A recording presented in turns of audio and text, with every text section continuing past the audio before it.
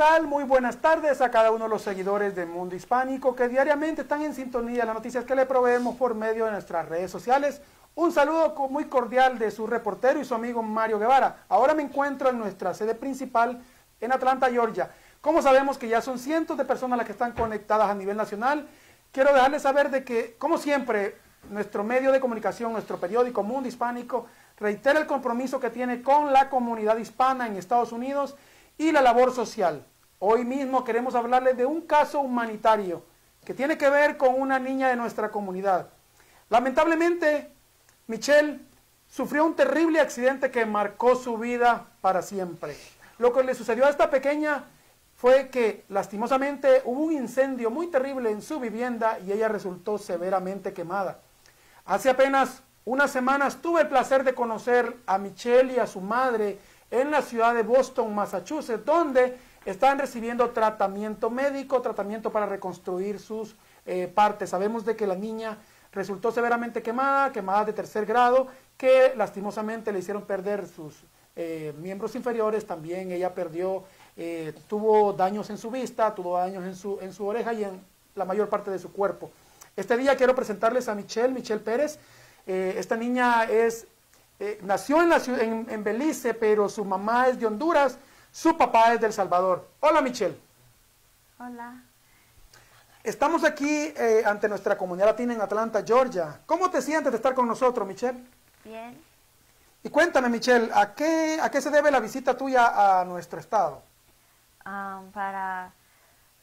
Um, estoy aquí para en Atlanta para, eh, para infanciales, ayudar, ayudo infanciales. Como para motivar a nuestra comunidad, para invitarlos a que te ayuden de manera económica, ¿verdad? Sí, Cuéntanos, económica. ¿para qué ustedes necesitan dinero, eh, Michelle? Para um, la casa, porque necesita mucho de reparar, reparar y también los um, apartamentos que tenemos atrás de nuestra casa.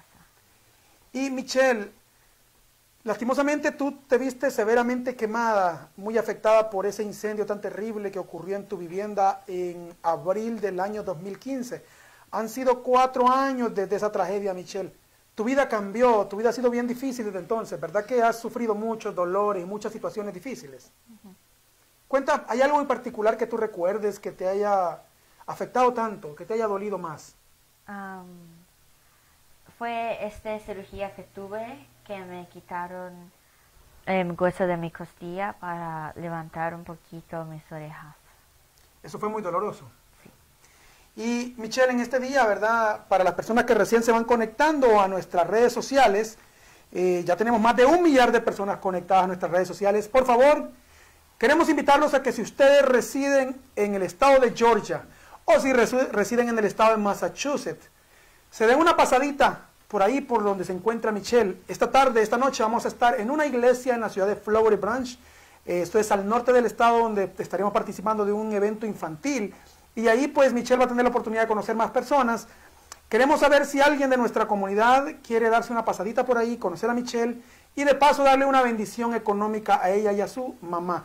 Por cierto, a mi mano izquierda tengo a Olga. Olga es la mamá de, de Michelle.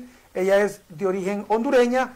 Y por cierto, también ella se vio afectada por este incendio. Olga, buenas tardes. Buenas tardes, buenas tardes a todos y muchas gracias por su colaboración en ver el video, en las, en las oraciones que también ha hecho por Michelle, porque vi comentarios que estaban pasantes. Muchas bendiciones para la niña, muchas gracias.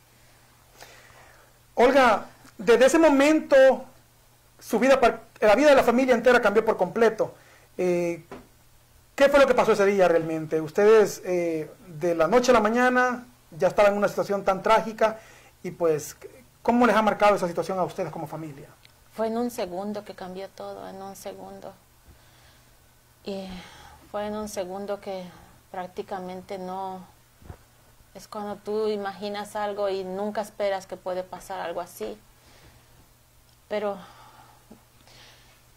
yo le doy gracias a Dios que la niña no murió en ese momento y pudimos llegar a Boston, que fue que le salvaron la vida.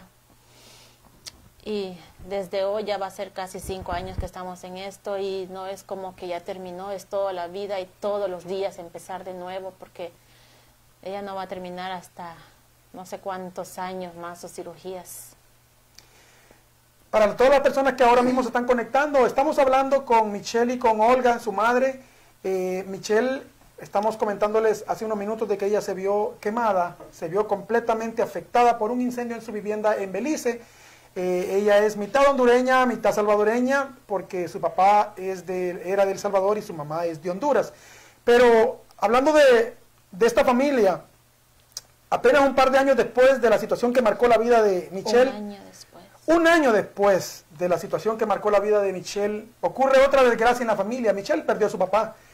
Eh, desde entonces, obviamente, esto terminó de afectar más aún a la familia porque ya estaba en una situación difícil, tanto emocional como económicamente, y ahora viene el sustento, el principal proveedor de la casa de- dejó de existir. Eh, me imagino que eso, Olga, la obligó a tomar otras medidas para poder salir adelante.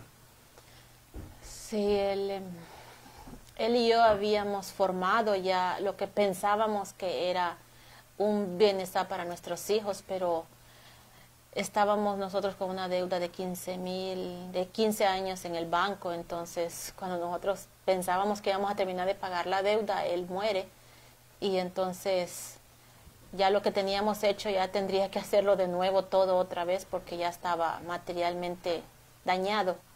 Entonces yo decidí que lo que teníamos planeado con él, seguirlo haciendo de cualquier otra manera y luchar la manera a, a seguir adelante con los planes que teníamos con él, pero no es fácil porque no es fácil para uno solo tener que hacer todo eso. Eh, me imagino, sin duda alguna, este, vamos a volver con Michelle. Michelle, cuéntame un poco de las cirugías que ya te hicieron, porque eh, me estabas comentando hace unos minutos que hubo algo bastante doloroso, pero también te ha ayudado mucho. Cuéntame un poco sobre la labor, el trabajo que este hospital en Boston, Massachusetts, ha hecho contigo, porque así como te ha ayudado a ti, ha ayudado a muchos otros niños eh, también de nuestra comunidad. Cuéntanos un poco de, de eso, Michelle. ¿Cómo, te han, ¿Cómo han sido las cirugías? ¿Qué te ha- ¿En qué te ha ayudado el hospital? Las cirugías a veces son muy difíciles y a veces son no tanto difíciles. El hospital me ha ayudado mucho con las cirugías y el tratamiento y las medicinas que necesito yo. Y um, también a muchos otros niños, no solo a mí, también necesitan um, también muchas cirugías y, mm, medicamentos. Hay más niños que necesitan más medicamento y más cirugías que yo y es más difícil para otra gente que a mí también a veces. Y a pesar de lo difícil que está pasando la Michelle, es una niña eh, tan noble, tan, tiene un corazón genuino, pero a pesar de todo lo que posiblemente físicamente cualquiera diría, ya todo está eh, perdido, eso no es así. En el caso de Michelle en particular, ella tiene muchos sueños, ella está llena de ilusiones.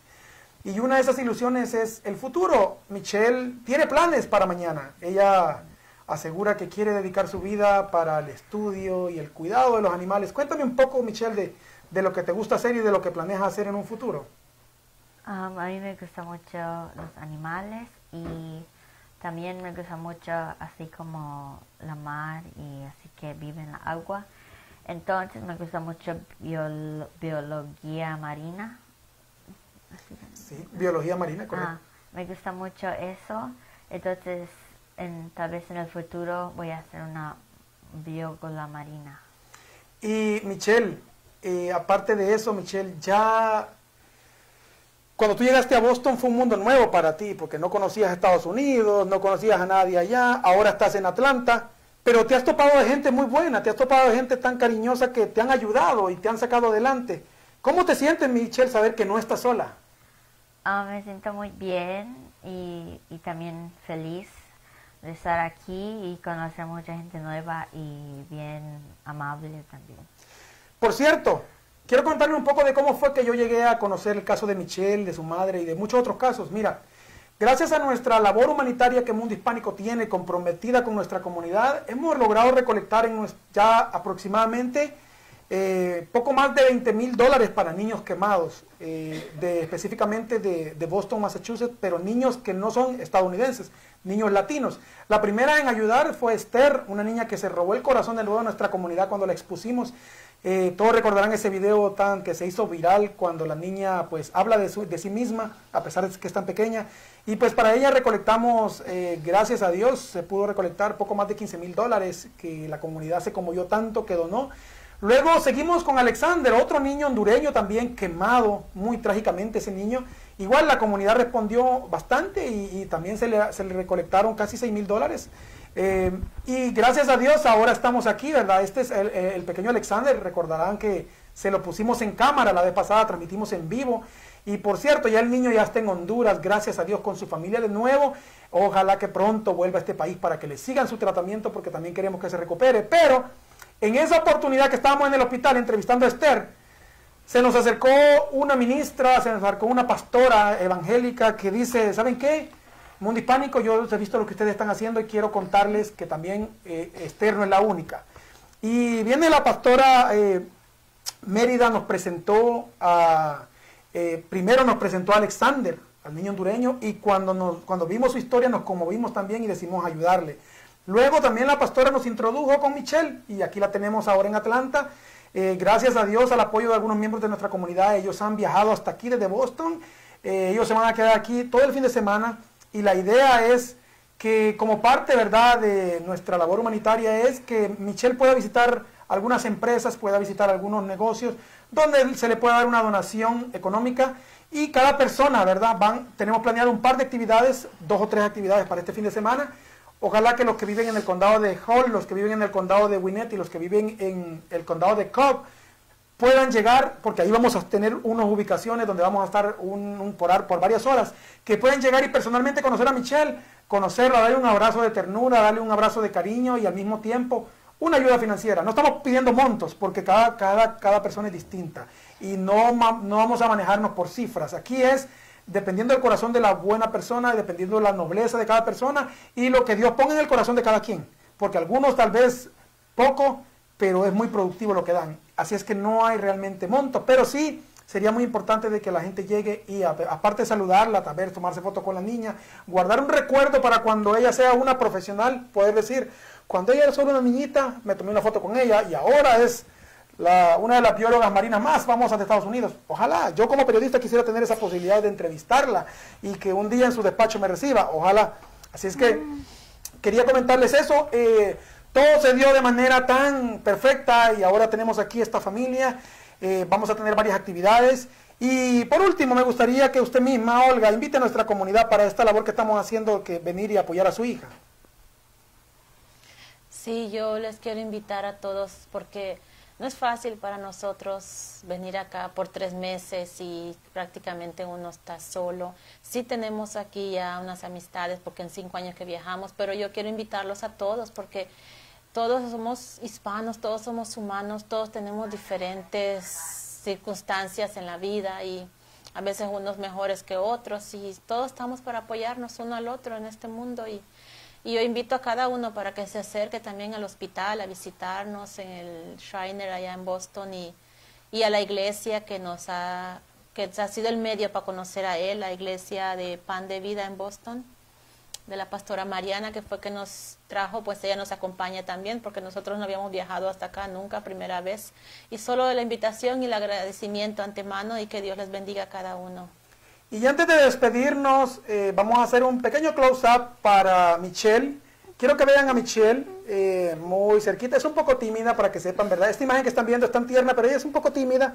Bueno, mejor dicho, bastante tímida. Nos ha costado sacarle palabritas, pero es una niña, es una niña y tampoco uno no puede esperar que actúe de una forma madura, porque cuando ella sea profesional va a diferente. Pero ahora es una niña, ella piensa como niña, eh, se mueve como niña, actúa como niña, así es que es normal en ella. Pero Michelle si se fijan bien, eh, Michelle, ella perdió sus orejitas, ella también perdió su nariz, ahora está en el proceso de reconstrucción y también parte de su cabello. Gracias a Dios por puro milagro y el tratamiento que recibió en el hospital, su cabello ha ido creciendo poco a poco al grado que lo tiene a este nivel. Miren, muy lindo, muy lindo su cabello.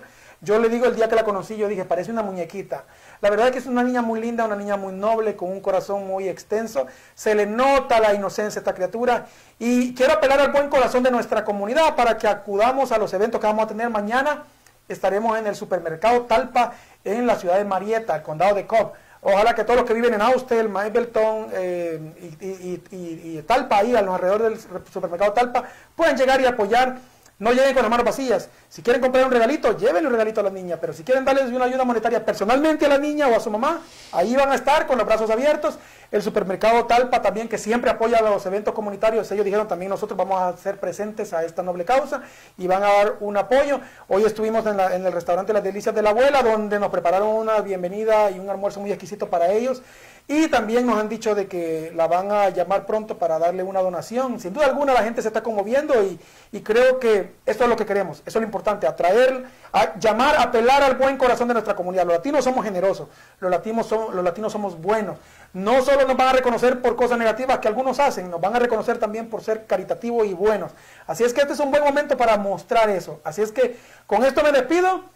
Eh, gracias por haber estado en sintonía de este Facebook Live. Por favor, compártalo y mándenme un mensaje en privado para que yo les dé la dirección de los detalles de dónde vamos a estar. Y si alguien dice en particular, quiero conocer a esta niña, quiero que la traiga a mi casa, podemos hacer tiempecito ahí, unos 15, 20 minutos, media hora y se lo llevamos, ¿verdad? Con solo que no me diga que está en Los Ángeles, California. Pero si está aquí cerca en Metro Atlanta, con gusto se lo llevamos. Hasta pronto, mi gente. Muchas gracias por haber estado conectada a este Facebook Live. Han sido cientos y cientos de personas conectados. Por favor, compartan este video. Y les saluda su reportero, su amigo Mario Guevara, desde nuestra sede principal en Atlanta, Georgia. Hasta pronto y gracias por seguir nuestras historias. Y recuerde, lo vio primero aquí. Descarga la nueva aplicación de mundohispánico.com en Google Play o en Apple Store y con solo un clic mantente al tanto de las noticias más recientes que impactan a nuestra comunidad. Inscríbete para recibir alertas de noticias y sea el primero en enterarte de temas como los cambios en las leyes migratorias que pasa en el mundo deportivo y lo más actual y divertido de la farándula. Es hora de estar bien informados con la nueva aplicación de Mundo Hispánico. Es gratis rápida y fácil de descargar.